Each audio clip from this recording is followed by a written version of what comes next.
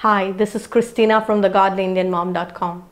Today's book review is on Agnes Grey by Anne Bronte.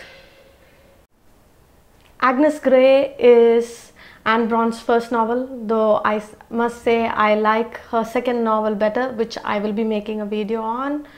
And uh, this particular book, I think I really love it because of its realism.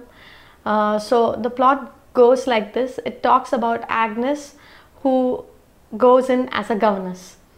First, she goes into a family and uh, it details her life as a governess there and how parents, though they themselves don't tolerate certain behavior in their children, are very quick to defend it when other people point it out. So, and I think this is like what happens even today, and that's what it's very relatable and uh, her struggles with this particular family.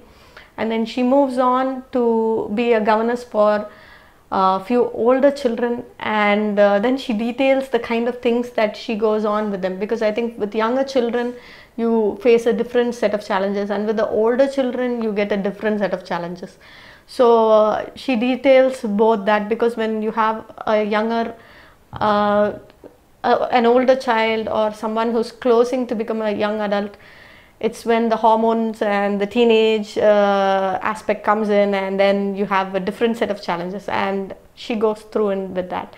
And then she also details like how she meets the love of her life there at that point and then it's very interesting to hear her thoughts and opinions which agnes doesn't vocally say though it it it is like written in that book. And i think that's a very interesting aspect of this book.